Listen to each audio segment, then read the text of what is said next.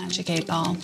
Is Milton going to have a record breaking year for price appreciation in Milton? Let's see. What does the Magic 8 Ball see for 2021 in Milton? Cannot predict now. Well, that is unhelpful.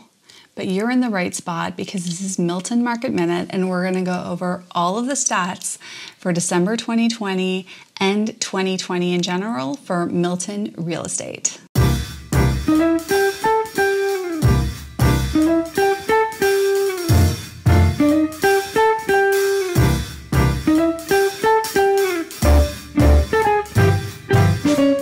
I'm Shaleni Henriquez with Remax Real Estate Center. I'm a local Milton realtor and community vlogger. And today's video is going over all of the Milton real estate stats from 2020 and also predictions for 2021. So if you're interested in Milton real estate, stick around because this video is for you. December was another strong month for Milton real estate. Our average price in December was $963,618. And that represents an almost 22% increase over the average price in 2019. With December's numbers coming in, we have our average year to date price for 2020 and Milton homes on average were selling for $860,487 and that represents a 15% increase over the average price in 2019.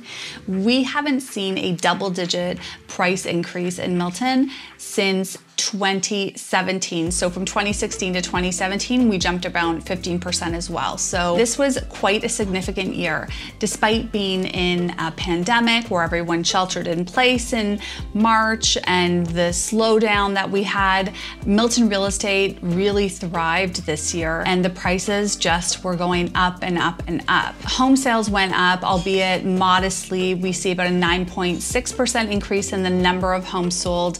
In 2020, we ended the year 2,409 home sales in Milton. New listings in Milton were pretty much on par with what we saw in 2019. There were 3,250 new listings in 2019 and 3,144 new listings in 2020. So just below what we had seen the year before. And that with really a two month stop in transacting. Like it was very slow there for a couple of months while everything was shut down. With 2020 behind us, lots of us really are happy to say bye-bye to 2020 and now we're here in 2021 we're two weeks in. There's been a lot of things happening in the world. Today actually the government just announced a, another shelter in place order here in the GTA in Ontario. So real estate is still deemed essential so we'll still be moving forward albeit with all of those safety measures in place. But so far what we've seen in prices in Milton real estate our demand has not slowed down whatsoever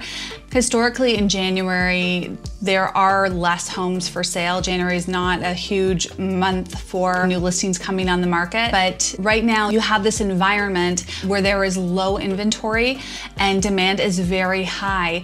Interest rates are very low right now. In fact, I read an article this week with one of the major banks offering an under 1% five year mortgage, which is unheard of, really, right? So it's very inexpensive to borrow money.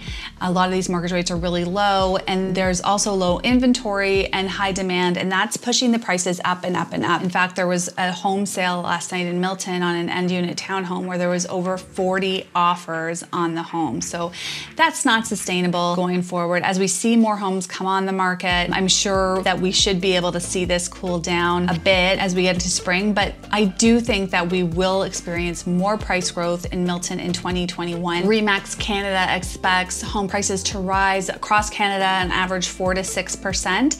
And generally in Milton over the last few years, we'd seen around a 5 to 6% increase in home value. So will 2021 find us back into that sort of normal increase or are we going to see double digits again? Well, we'll need more inventory on the market, that's for sure. Interest rates are not going to be going up. That's what most of the major banks are saying, at least for the next few years. We're going to see interest rates remain low. So, with interest rates remaining low, homeownership is still on top of a lot of Canadians' minds. And with the trend of people moving out of Toronto and leaving the city and moving out into GTA, we're definitely getting a lot of movement into Milton that way. And then there's folks in Milton that are leaving to move more country as well. So not just Milton's experiencing a lot of price growth, a lot of the GTA is.